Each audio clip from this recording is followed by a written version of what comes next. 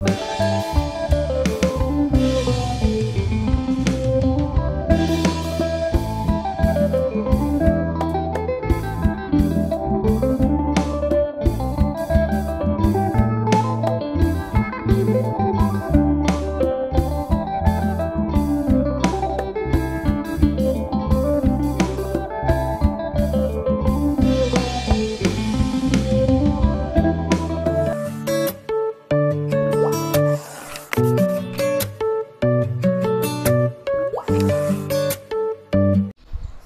ครับครับ สวัสดีครับผม ผมสันติออฟฟิเชียลนะครับ วันนี้ผมอยู่กับคุณพ่อชื่ออะไรนะครับ ชื่อทองคำครับผม อ๋อ คุณพ่อทองคำครับรู้สึกว่าผมเคยเห็นออกในรายการทีวีหลายช่องใช่ไหมครับ ครับผม ออกบ่อยครับผม ออกบ่อยเนาะ ที่ผมได้มาเที่ยวในสถานที่ที่คนไทยทั้งประเทศรู้จักครับ ก็คืออยู่หมู่บ้านงูจงอางนะครับอยู่ที่อำเภอน้ำพองครับผมจังหวัดอำเภอขอนน้ำพองแก่นนะครับโควิดต้องบอกว่าเศรษฐกิจไม่ว่าจะเป็นอ่าชมรม งูจงอางแห่งประเทศไทยของเรา แล้วก็สถานที่อื่นทุกที่ซบเซาทั้งหมดทุกที่ครับผมนะครับ คุณพ่อเนี่ยอยู่หมู่บ้านงูจงอางตั้งแต่ตั้งแต่ครับผเกิดเลยใช่ไหมคครัรับบครับครับอืมก็ผมอยู่เกิดที่บ้านโคกสง่าก็อืมตั้งแต่เกิดเลยครับผมตั้งแต่เกิดเลยออตั้งแต่เกิดเลยครับ ผมอยากถามคุณพ่อหน่อยว่า ที่ไปที่มาที่คุณพ่อมีความชอบ จนได้มาเป็นนักแสดงที่มีชื่อระดับประเทศเนี่ยครับคุณพ่อเริ่มชอบตั้งแต่พ่อกี่ปีกี่ขวบครับ ถ้าถ้าจะว่าเริ่มชอบนะครับ ก็จริงๆเนี่ยตอนแรกผมก็ไม่คิดว่าผมจะมาเล่นกับงูนะครับครับอ่าเพราะว่าอืมแต่เมื่อก่อนเนี่ยสมัยก่อนนะครับ มันมันก็มีพ่อพ่อหรือว่าอ่าพ่อใหญ่พ่อตาอย่างเงี้ยที่เขาอ่าจับงูโชว์งูเลี้ยงงูมาก่อน ขายสมุนไพรครับคือขายสมุนไพรนี่มันมันมันเขาจะมีงูจงอางนะเอาเอาไปให้คนดู เพราะว่าเขาจะไปขายตามหมู่บ้านตามชนบทนะแล้วก็จะมีคนมาดูเขาก็จะได้ขายสมุนไพรครับดี คุณพ่อครับเดี๋ยวขออนุญาตนิดหนึ่งครับครับที่คุณพ่อเล่าเมื่อกี้เนี่ยผมนึกถึงบรรยากาศตอนผมยังเด็กอืมที่คต้รัองบอกว่าจะมีรถแล้วก็จะมีการขนไอ้กล่องงูนะพ่อครัเนาะบครับแล้วไปแสดงตามครับหมู่บ้านแล้วก็พอแสดงเสร็จก่อนหน้านั้นอีกนะครับก่อนหน้านั้นอีกก่อนหน้านั้นอีกเดินนะ ไม่มีรถนะไม่มีดินรนะถเลยเดินเลยครับครับตั้งแต่นะครับสมัยสมัยพ่อผมอะโอ้แต่ตอนที่ผมไปกับพ่อผมก็เดินเหมือนกัน เดินมาช่วงหนึ่งแล้วก็อืมจากนั้นมาก็มีรถไป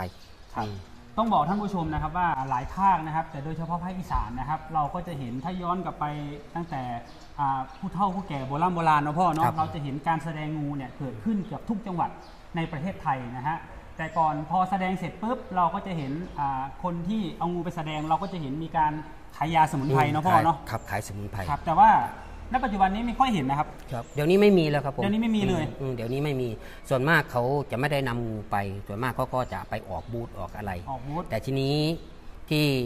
ส่วนมากปัจจุบันนี้ก็จะมีก็มีโชว์งูอยู่อยู่ที่ตรงนี้แหละอยู่แต่ที่หมู่บ้านงูครับจงอางเราที่ที่ตรงที่ที่เวทีโชว์เนี่ยอ่าอืม ที่หมู่บ้านเรานะ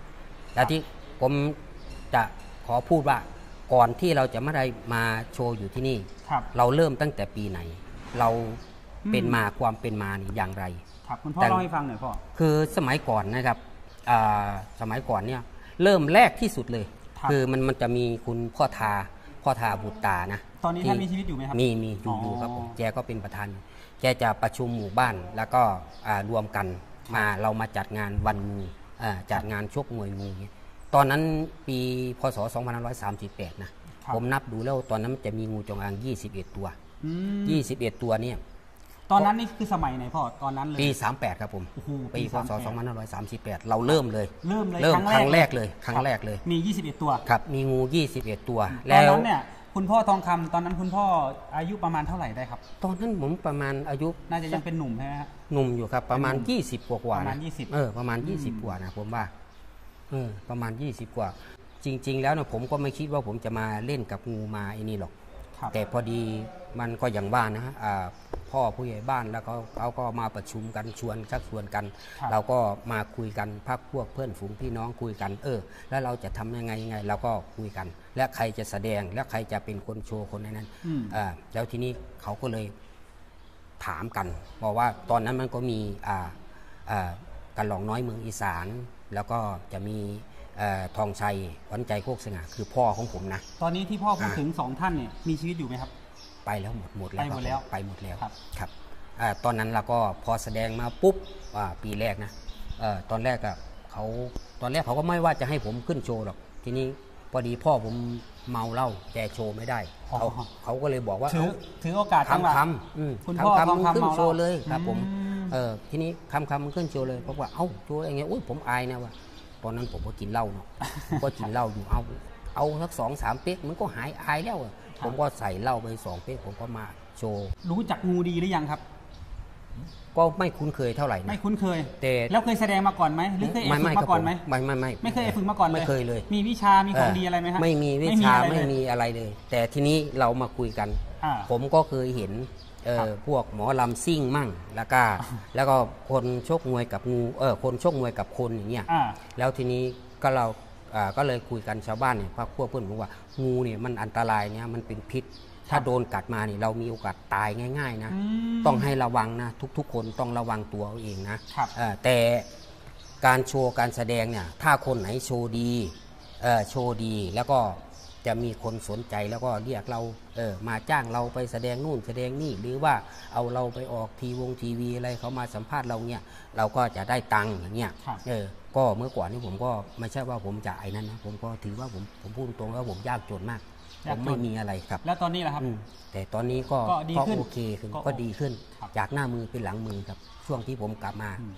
หันหน้ามาเล่นกับงูครับเออก็อ่าผมก็ถือว่าเป็นหน้ามือเป็นหลังมือ สิ่งที่ผมไม่เคยมีผมก็มี ก็มีอ่าต้องบอกท่านผู้ชมนะครับว่าวันนี้นะฮะถือว่าเป็นโอกาสที่ดีของผมและก็ท่านผู้ชมนะฮะที่เรามีโอกาสได้เจาะลึกเล่าตั้งแต่ชีวิตวัยเด็ก ยันวัยสวนะคุณพ่อเนาะครับผม ได้พูดคุยนะฮะถึงชีวิตคนที่ใช้ชีวิต ต้องบอกว่าเกินครึ่งค่อนชีวิตที่อยู่กับงูเลยครับผม นะครับทีนี้คุณพ่อเล่าต่อหน่อยว่าตอนแรกที่แสดง คือตอนที่แสดงตอนแรกๆนะครับ ก็ผมก็ขึ้นมาปุ๊บเนี่ย ผมไม่เหมือนคนอื่นเขา ผมจะมาจะให้เพราะว่าในทีมงานเขาก็เล่นดนตรีนะเล่นอีเอ่อคีย์บอร์ดครับอ่าเป็นเพลงเล่นเพลงแล้วก็ผมจะเป็นคนเต้นคนเต้นรำแต่ถ้าผมตบมือตบมือป๊อบป๊อบให้ครับเอางูออกมาให้ผมเลยอ่าคือผมขึ้นบนเวทีปุ๊บเนี่ยดนตรีเขาจะขึ้นเลย ขึ้นปุ๊บเนี่ยผมจะฟ้อนรำผมจะเต้นรำออกมาเออคนแล้วความสนใจแล้วเนี่ยผมมันถาเยมอะหน่อยนะคุณพ่อว่าก่อนที่คุณพ่อจะทำการแสดงงูอะเมื่อสักครู่ที่ผมเห็นน่ะนั่นแหละผมจะเห็นทำสไตล์นั้นแหผละมเห็นลีลาสไตล์การเต้นหรือการโชว์ต่างๆคล้ายๆ งูเลยฮะครับพ่อได้ท่าเต้นมาจากไหนครับ ผมนึกเอาครับผมผนึมกเอาผมดูผมดูไอ้พวกหมอลำพวกแดนเซอร์อย่างเงี้ยและแล้วที่แล้วที่นี่เรามาฝึกกำลังขาฝึกมาฝึกไอ้กำลังขาพกเรด้วยเออนะครับถ้าผมทำอย่างเงี้ยคนอาจจะสนใจเยอะ แล้วก็เขาอาจจะว่าเราเออคนนั้นโชว์ดีนะเต้นลำดีก่อนที่เขาจะชม เขาก็ทำแปลดูกมีๆสีสันเอดีอมีสีสันดูดีน่าสนุกชมดีนะอะไรประมาณเนี้ยเออ ผมอยากเล่าเรื่องแต่ก่อนนะครับบางคนเนี่ยมานั่งดูเนี่ยนั่งดูปุ๊บเนี่ยสี่รอบห้ารอบไม่ลงจากที่นั่งเลยครับรอผมโชว์ทุกรอบทุกรอบเลยเพราะว่าตอนนั้นถ้าผมโชว์เนี่ยเขาจะวิธีกรเขาจะเรียกผมขึ้นทุกรอบเลยแล้วแล้วทีนี้พวกกลุ่มนั้นน่ะเขาจะนั่งอยู่งั้นแหละ นั่งดูผมรอดูผมโชว์ครับ เขามาเล่าให้ผมฟังนะครับอ่าผมว่าโอ้ผมโชว์ดีขนาดนั้นอุ้ยมันดูดีนะพ่อพี่อย่างเงี้ยอืมเออสนุกดี เวลาพี่โชว์พี่อะไรสนุกดีส่วนมากเขาเรียกพ่อหรือเรียกพี่ครับ เมื่อก่อนเขาเรียกพี่ครับ ตอนนี้เขาเรียกแต่พ่อแต่ทุกวันนี้เขาก็จะเป็นพ่อนั่นแหอ๋ละอนะครับจะเป็นพ่อหรือพี่ จริง ๆ แล้วถ้าเกิดผมไม่ถามอายุนี่ผมคิดประมาณไม่เกิน 50 อืมครับนั่นแหละเออส่วนมากคนจะคิดอย่างนั้นจริง ๆ แล้วผมเออผม ผมชื่อชื่อจริงของผมนะครับอ่าชื่อนายคำชัยบุตรีอ่าบ้านเลขที่ 90 หมู่ที่ 6 บ้านโคกสง่าตำบลไซมูลอำเภอน้ำพองจังหวัดขอนแก่นนายคำชัยบุตรดีครับสี่ที่มกไปราที่มาของคำว่าทองคำเนี่ยมาทองจากไหนคำครับคือได้ทฉาองยาเนี่นี้ยมาจากไหนได้ครับฉายามาแรกๆนะก็จะเป็นพ่อผมใช่ไหมเขาจะให้พ่อผมขึ้นมาโชว์อ่าพ่อผมชื่อทองอืมอ่าแล้วที่ผมชื่อคำทีนี้พ่อผมโชว์ไม่ได้ มีลุงคนหนึ่งก็เลยบอกว่า เอ้า แล้วเขาจะเราจะตั้งชื่อให้ไอ้คำไงล่ะ เอ้าก็ ทองคำลูกทองชัยไงอืมอ่าพ่อเขาก็พ่อชื่ชื่ออททอองงชัชัยยอ่าอ่าเอ้าก็อันนี้ก็ลูกชายก็ทองคำทองคำลูกทองชัยทองคำลูกทองชัยเสร็จอย่างปุ๊เงี้บยตั้งแต่เราเปลี่ยนชื่อ คุณพ่อชื่อทองชัยครับส่วนคุณพ่อที่นั่งคุยกับผมชื่อทองผมคำชื่อตั้งคำแต่เปลี่ยนชื่อคำแล้วที่เขาเขาเขาเขาก็เลยมาเพิ่มทอเป็งนเป็นททอองงคคำครับำตั้งแต่เปลี่ยนทองเป็นชื่อทองทองชัยคำสรรพนามใหม่เนี่ยรู้สึกว่าชีวิตดีขึ้นไหมครับ ดีครับผมดีขึ้นผมและก็มีผชื่อเสียงด้วยครับครับ ก็มีชื่อเสียงแบบว่าถือว่าผมอันดับโลกก็ว่าได้นะทีนี้ผมทีนี้คุณพ่อครับคืออยากย้อนกลับไปที่พ่อแสดงตอนแรกอีกหน่อยว่า ความรู้สึกที่พ่อขึ้นแสดงวันแรก อะไรที่ทำให้พ่อมั่นใจขึ้นอยู่บนเวทีในการแสดงงูท่ามกลางผู้คนที่รอชมเยอะมากๆครับ ในสมัยนั้นเลยหนึ่งครับคือเสียงตบมือครับผมเสียงปรบมือเสียงตบมือเสียงตบมือให้กำลังใจแล้วก็จะมีติ๊บมีอะไรมาให้เราครับ พอเราโชว์เสร็จปุ๊บเขาก็มีเรียกเราไปเรียกติ๊บเรียกอะไรอย่างเงี้ยเราก็มีกำลังใจเออมีกำลังใจและครับ และสิ่งที่พ่อขึ้นแสดงขึ้นแสดงบนเวทีเลยลึกๆเลยในใจของพ่อเลยพ่อคิดกลัวไหมครั้งแรกเลย คิดกลัวไหมกลัวก็กัดกลัวมัพินษงูกลัวพลาดไหมก็คิดครับส่วนหนึ่งส่วนหนึ่งคิดครับ อีกอืมส่วนหนึ่งเราจะโชว์ทำยังไงเนาะจะให้คนเขาแบบว่าติดใจกับในการโชว์ของเราเราจะทำยังไง คือคือในช่วงโชว์เนี่ยครับผมคิดในใจผมผมจะไม่สนใจอะไรสิ่งสิ่งรอบข้างอืมใจสายตาผมจะอยู่กับงูครับ อยู่กับงูอย่างเดียวอืมเออผมจะอยู่อยู่กับงูผมจะเต้น ผมจะขยับไปไหนมาไหนผมอยู่กับงูเนี่ยอยู่กับงูคนจะเรียกคนจะเสียงอะไรผมจะไม่สนใจครับเออผมจะดูแต่แต่งูใช้สมาธิงอยู่กับงูใช้เลยสมาธิอยู่กับงูครับครับ และก็หลังจากที่พ่อแสดงครั้งแรกเนาะพ่อใช้สมาธิจากที่ไม่เคยมีประสบการณ์เลย เพราะว่าเป็นการแสดงแทนคุณพ่อครับนะครับเป็นการแสดงและหลังจากนั้นแทนพ่อเสร็จปุ๊บคุณพ่อใช้เอ่อเวลาในการฝึกซ้อม หรือการคุ้นเคยกับงูเนี่ยใช้เวลานานไหมพ่อกว่าที่เราจะคุ้นเคยว่างูตัวเนี้ย มีนิสัยมีลักษณะอะไรยังไง เราถึงแบบมีการแสดงโชว์ที่ออกมาดีขนาดนี้ครับ คืองูแต่ละตัวนะครับ เวลาขึ้นมาปุ๊บเนี่ย มันจะตั้งคอ มันจะยืนตั้งคอครับเวลาเราโยก เราเราอยู่ข้างหน้ามัน มันจะตั้งคอนี่ยืนขึ้น อืม ชูอยู่อย่างเงี้ย แต่ถ้าเราไม่เตะมันก็ไม่ฉกถ้างูลักษณะนั้นน่ะ เราจะเล่นลีลายังไงเราก็เล่นได้ อืมอืม อืมแต่ถ้างูขึ้นมาปุ๊บพอปล่อยปุ๊บวิ่งปุ๊บตะคุบปุ๊บโดดกลับมา พอโดดกลับมาปุ๊บก็วิ่งกลับไปก็วิ่งปุ๊บ อันนั้น เราก็แต่งงูยากแต่งยากลักษณะนั้น ครับแต่เราต้องสังเกตว่าเราต้องดูงู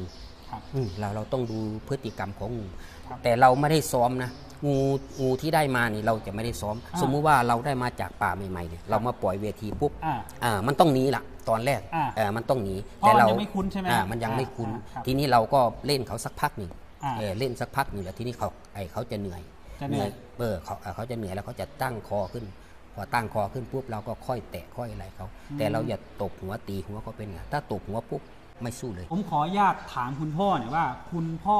เท่าที่คุณพ่อจำได้นะฮะคคุรัณบพ่อเคยไปโชว์ที่รายการไหนโชว์ที่ไหนอะไรยังไงบ้างต่างประเทศในประเทศยังไงบ้างคุณพ่อเล่าให้ผมฟังหน่อยฮะคือตอนแรก ๆนะครับ ตอนแรก ๆ นี่ผมจะถ่ายทำเอ่อวิดีโอรายการของ National Geographic อืม ถ่ายทำอยู่13วัน ในปีนั้นแต่ผมจำไม่ได้นะสิบสามวันเออ13วันครับแล้วทีนี้เขาบอกว่าไกด์นี่เขาบอกว่าพี่ทองคำถ้าวิดีโอนี้อ่าได้เข้ารอบพี่จะมีโอกาสได้ไปต่างประเทศนะครับอ่าผมก็เออ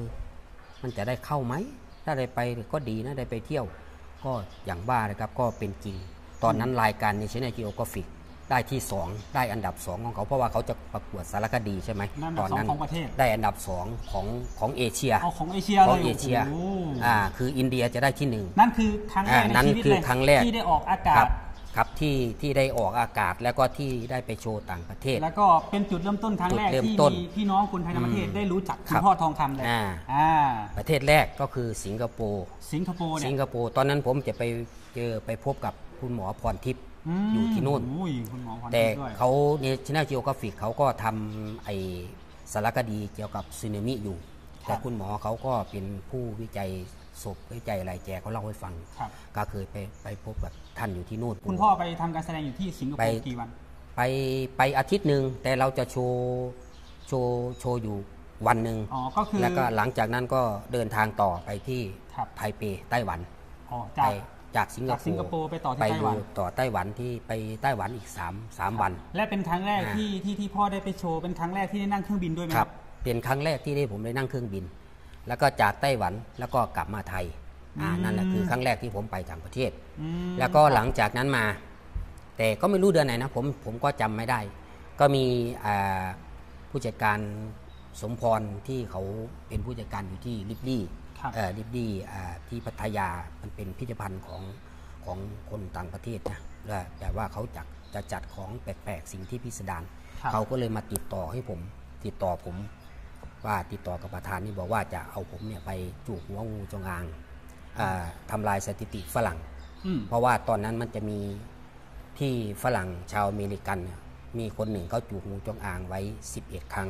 แต่ฝรั่งคนนั้นเขาชื่อกอกอร์ดอนเคก แต่เขาก็เสียชีวิตแล้วล่ะเสียชีวิตแล้วเออเสียชีวิตแล้ว แล้วเขาก็เลยอยากให้คนไทยเนี่ย เห็นคนไทยว่ามีความสามารถเขาเคยเห็นผมออกทีวี อยากให้เออไปทำลายสอยากถิให้ติที่ผมต่างประเทศเนี่ยหไปน่อยทำไปทำลายสถิติคือคือเขาจะจัดอยู่ที่พัทยา พัทยาเออประเทศเขาไทจะยจัดเราอยู่ที่พัทยาอ๋อครับวันนั้นผมจำได้นะผมก็ตกลงโอเค ตอนนั้นคุณพ่อออายุเท่าไหร่ครับตอนนั้นปีพศตอนนั้นพอจำได้ไหมฮะ